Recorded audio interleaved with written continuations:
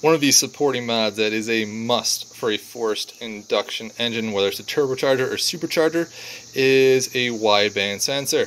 So a wideband sensor will tell you the air to fuel ratio of your exhaust, and that's going to let you know if you're robbing your engine of power or if you're in a danger zone for your engine as well because you could have a catastrophic failure.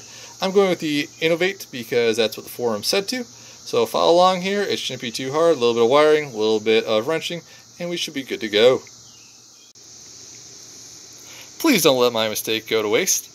If you're going to install a wideband sensor, do all this before you put the supercharger in or else it's going to be kind of a pain to remove everything. So remove that U-pipe, remove your throttle body if you made my mistake. But otherwise, if you didn't make that mistake, you can find your O2 sensor uh, on the downpipe right before the mid pipe.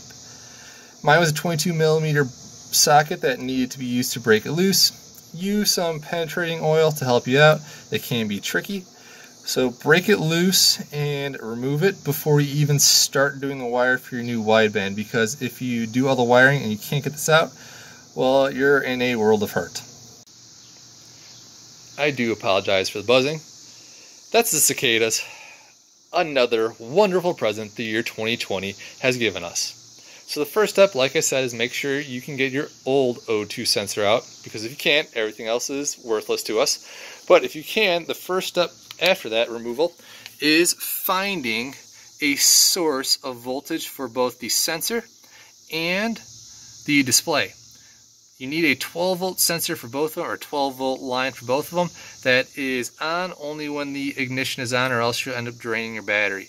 So I'm looking under here. I'm about to go grab my digital multimeter and try to find us something that fits that 12 volts when the ignition is on only.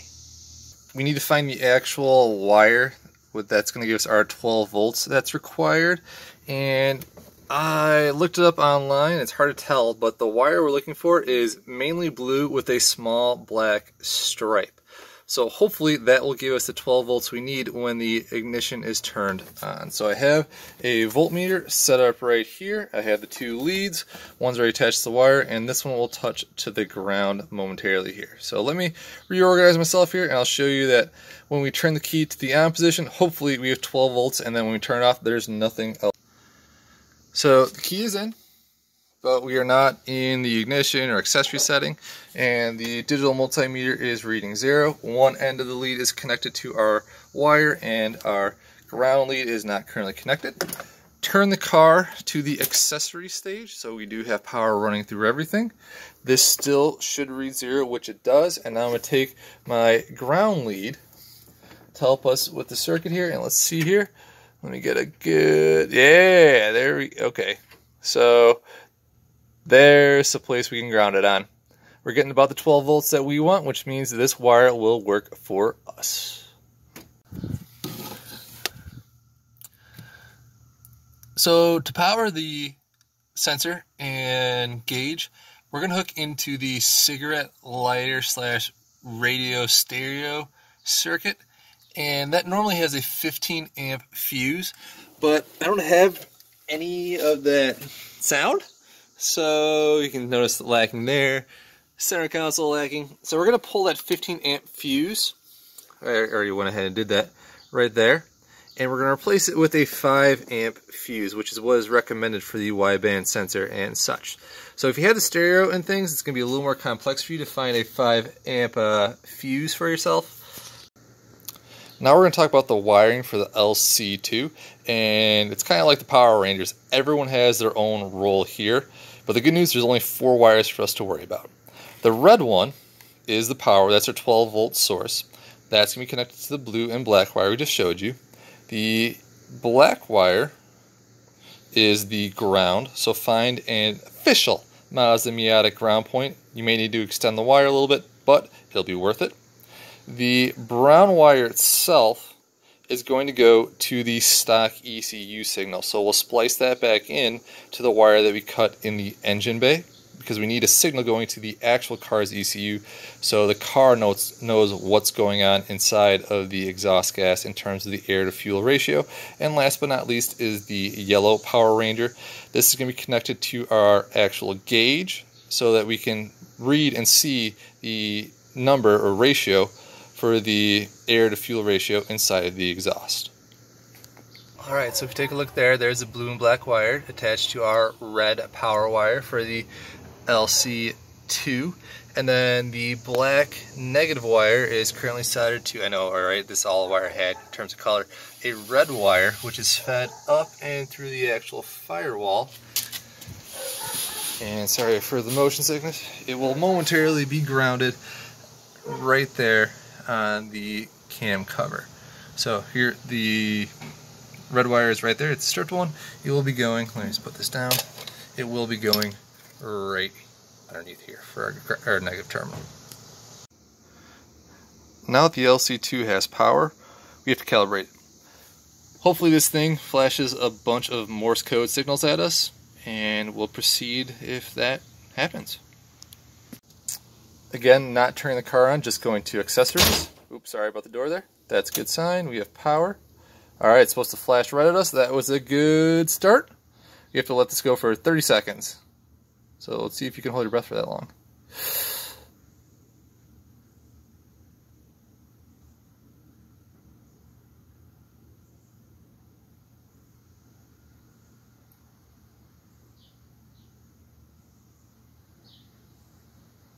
Plug your nose, cheaters.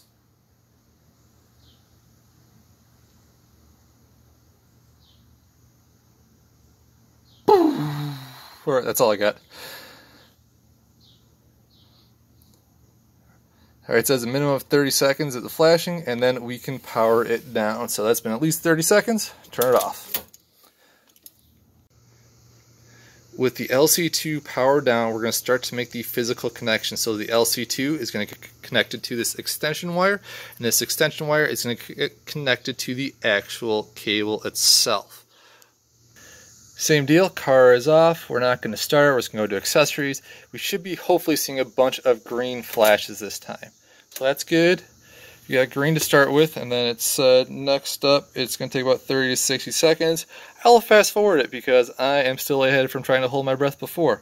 We'll see how it goes.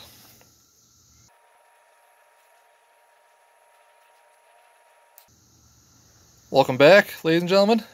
We are solid green, and we know green means good to go. So the sensor is calibrated this time. At this point, you're going to power down everything. Don't do undo any of your wires. Just turn everything off. No disconnecting the LC2, but you can, again, once you've powered off, you can go ahead and disconnect the actual O2 sensor. That is okay to do.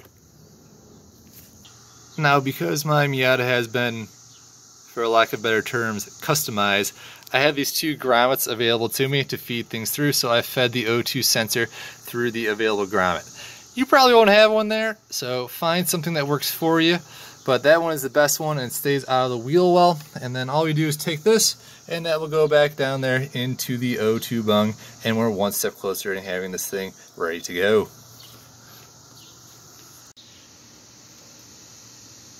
Again, sorry for the red wires, but let me catch you up to date. So the new O2 sensor is installed, but now we need the signal from our O2 sensor to get to our ECU. So what we have done already is chopped the old O2 sensor wire. So this is the original stock wire connector with now a bare end, and that bare end is going to connect to this red wire down here. Again, sorry, I only have red wire. That red wire, if we follow it, back to the interior, to the LC2, that red wire is this one right here, even though it looks like orange, I assure you it's red. That is going to connect to the brown output right here, because that brown output and that sensor are going to connect the new O2 sensor and the stock ECU. I swear, we're almost done. I know you're getting tired of listening to me. Last up is the actual gauge itself. So do this, good news, it's just four wires. So just like the O2 sensor, the red is for power, so we'll hook that back into the blue-black. The black is for ground, so we'll attach it to ground. And I believe the white wire is going to go to the yellow wire of the O2 sensor. After that, we should be good to go. Last step is to connect this into your actual gauge and then pray to who or whatever it is that you do that everything works the first time. All right, let's see if it works. Well, first, hopefully the Miata works because I've been having some issues with that lately. But let's take a look at this. Ooh, that's good. Got some numbers flashing. And Miata. Hey, Miata works too! Yay! No, will this read? Because it shouldn't be 7.5. 7.5 is a really bad number for this thing to be reading.